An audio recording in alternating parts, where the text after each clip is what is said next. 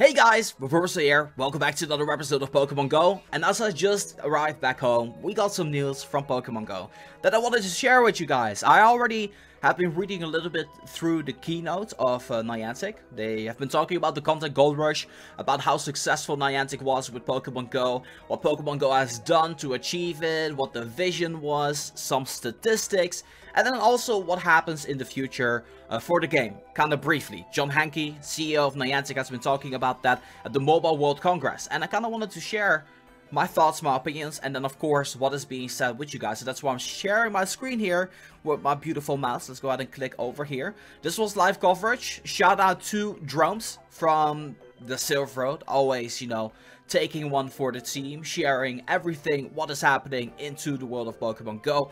John Hanke takes the stage. I've been reading through this already, so that way I know what is going to be happening. And first, we're going to be talking about the introduction about Pokemon Go, because not everybody at that conference was familiar with Pokemon Go, which is uh, kind of a strange thing when you think about it. Such a worldwide phenomenon.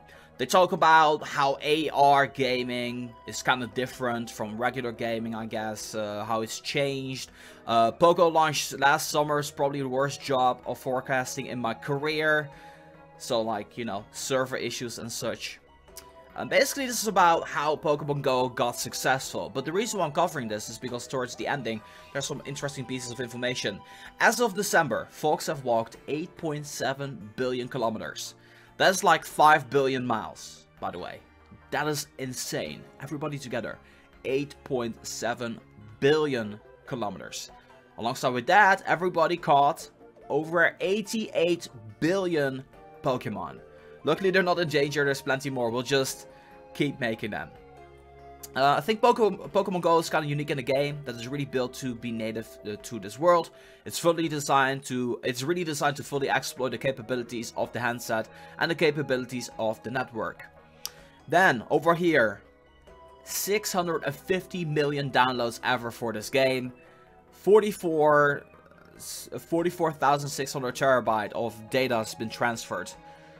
Completely insane. We rely on direct carrier billing for the financial underpinnings of this. Um, Pokestops, 35,000 Pokestops, not bad. And then over 500 million visits to the sponsored Pokestops.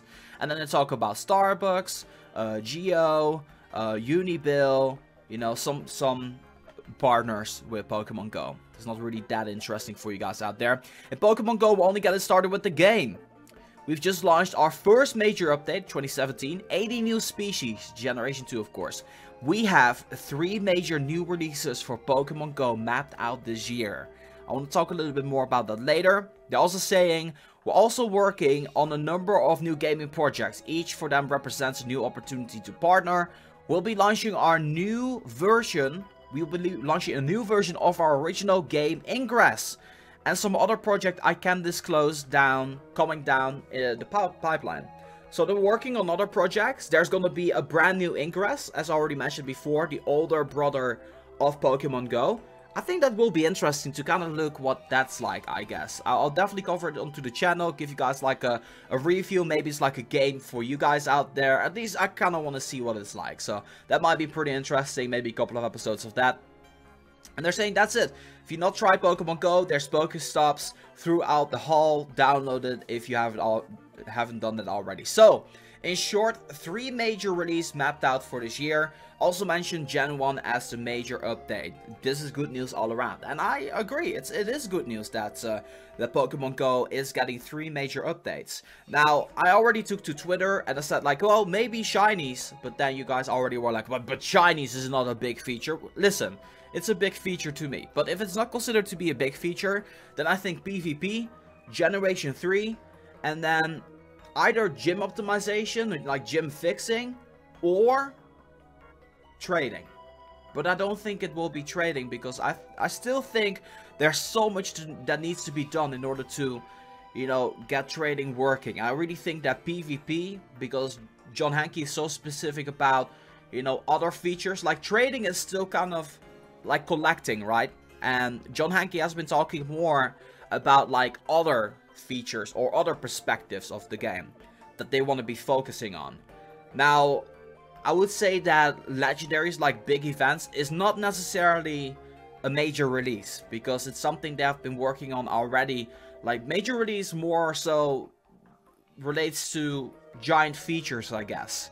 So there's of course going to be more than just the three releases or three new features, but this this is just the big stuff. As in people really are hoping for this and it's actually something that will add something to the game. That's what I'm understanding when I'm saying feature. So whenever I'm saying shinies, that's not so much a feature, that is an extra.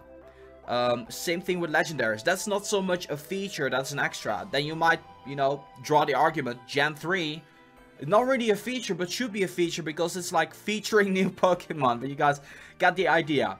Thoughts, opinions, leave them in the comment section down below. What do you guys think the three big features are gonna be? And if the new Ingress is to be released, are you gonna be playing it? I would love to hear from you guys in the comments below. Anyway, that's gonna be wrapping it up for me. I have a bunch of stuff in my background because I just came back home, wanted to record this immediately. Because later today, hopefully there will be a vlog out. So I'm gonna do everything within my power to make sure that actually gets released today. But yes, that's gonna be doing it for me for now. I want to say thank you guys so much for watching. I eagerly await your comments in the comment section down below. Cannot wait what you guys have to say. And on that note, this has been Reversal for Pokemon Go. I'm going to be signing off and I'll see you guys in the next one.